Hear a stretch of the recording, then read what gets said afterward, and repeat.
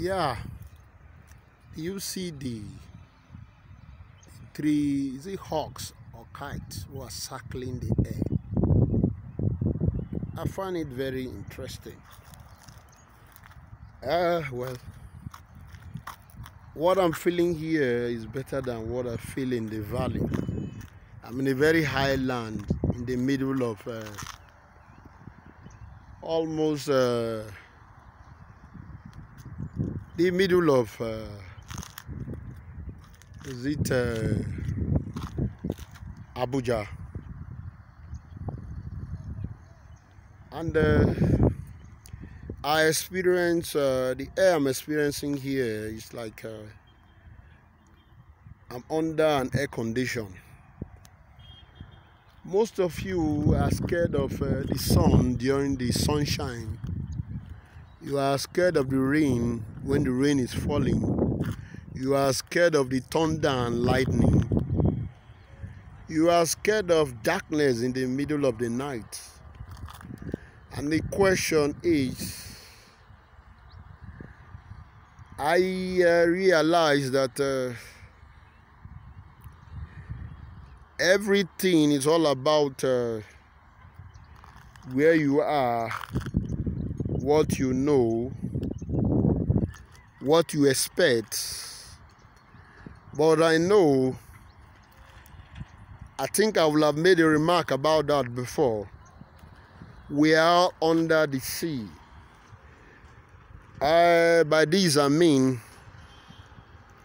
life itself or the world itself is an egg of illusion of water. What some people call, uh, I think our ancestors called it uh, mami water. When they say mami water, some people confuse it to mean it was a mysterious woman who is from the bottoms of the sea.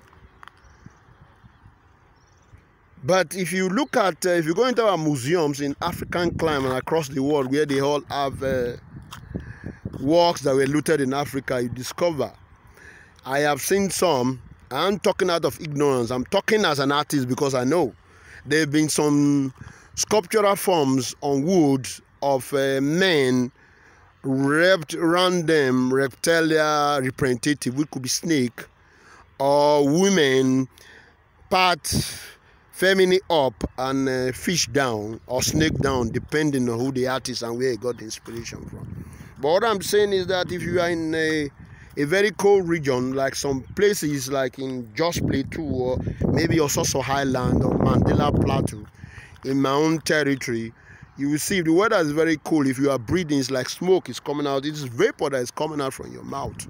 So what it means that water has different states if the water becomes so close to the fact that it's evaporating it becomes invisible it's fused into the air and moves so if i'm talking to you i think uh, coronavirus uh, is not really anything new because uh, we know each time you cough you release a billion microorganisms in the air so even in economics, they talk about macroeconomics and microeconomics. So if you take a telescope and x-ray everything, you find out even the most cell, there are multi-dimensional, infinite number of microorganisms in the air.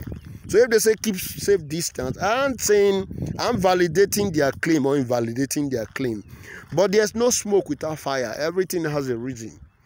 So you aren't supposed to get freezed like if you go into some museums, you find they say the hunter when he gets into or the warrior when he gets to a war zone, if things turn around the way he doesn't expect, if he freezes, he disappears.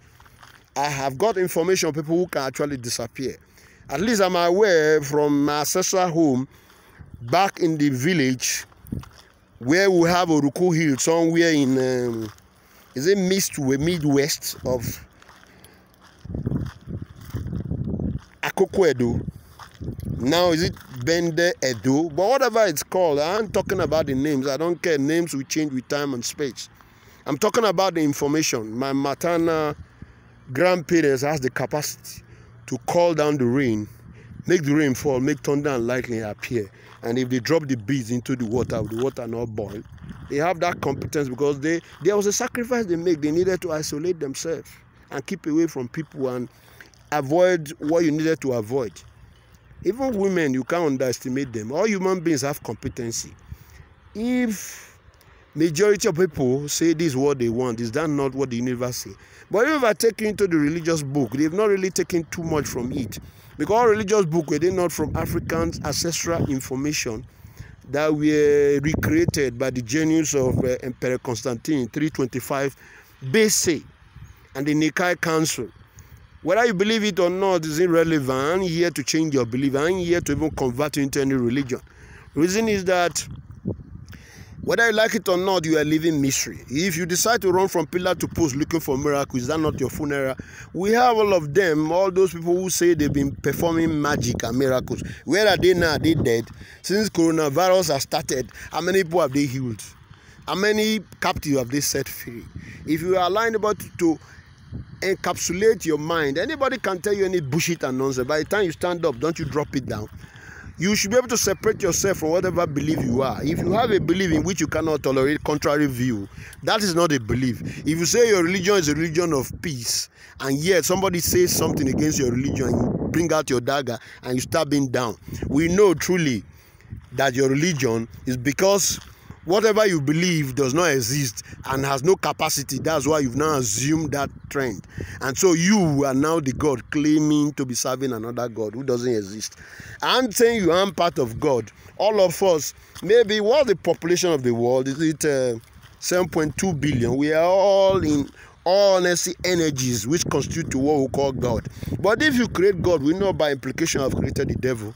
So in that same vein if you want to equate them if you go into the mythology of yin and yang which is evil and good must balance or you go into the buddha which in the left hand is beating the drums of uh, creation the right hand is fanning the fan of destruction. They must all balance.